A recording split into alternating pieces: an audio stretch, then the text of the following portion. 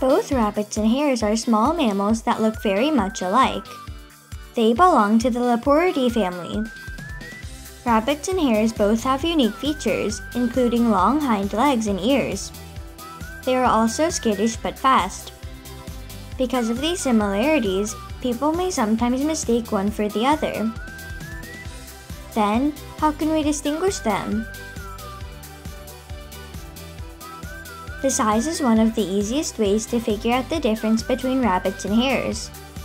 In general, hares are larger than rabbits.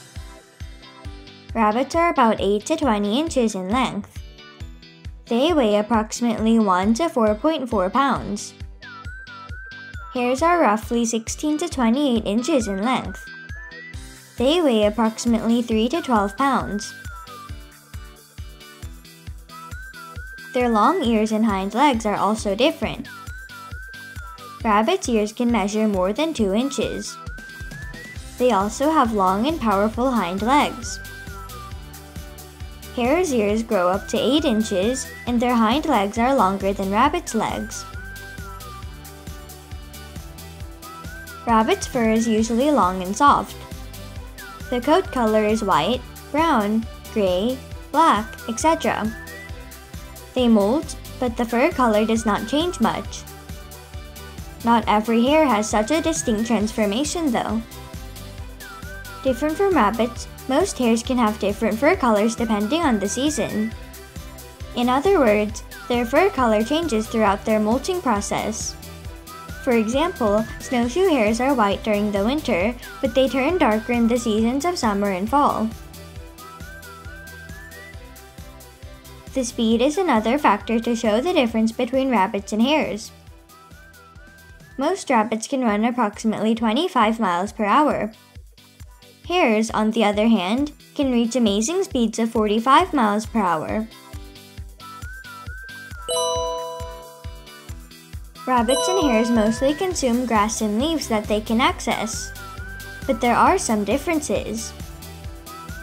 Rabbits eat grasses, vegetables, and soft stems. They also enjoy fruit from time to time. Compared with rabbits, hares prefer tougher substances, like small twigs and tree bark, in addition to grasses. They also like to eat low-hanging fruit or wild seeds. Some breeds, such as the snowshoe hare, are even carnivorous during the winter. So, they consume meat, mostly dead animals. Both rabbits and hares live in America, Europe, Asia, Africa, and Australia. Their habitats overlap in some parts of the world, but they prefer to live in different environments. Rabbits' habitats include grasslands, meadows, forests, woods, deserts, and wetlands. They like places where they can flee and hide from predators. Different from rabbits, hares live in open habitats on the edge of wooded areas and arid scrublands.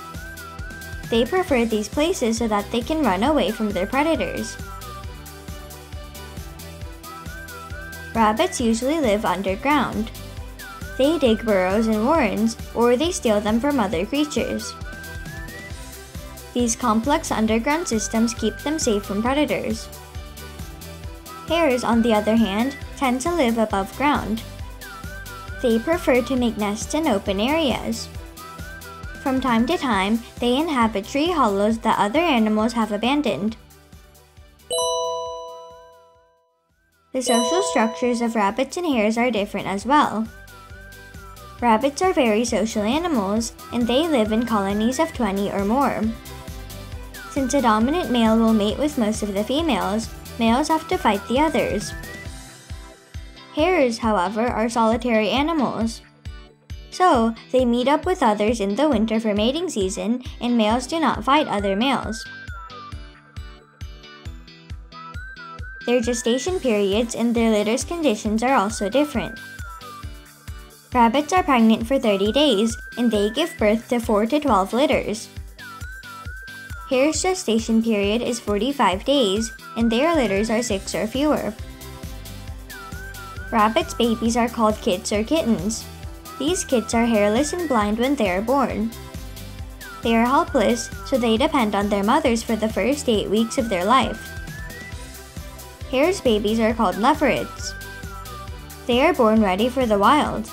They already have hair and they can see and even hop around. They are weaned from their mother by the second or third week of their life. Now you know how to tell the differences between rabbits and hares.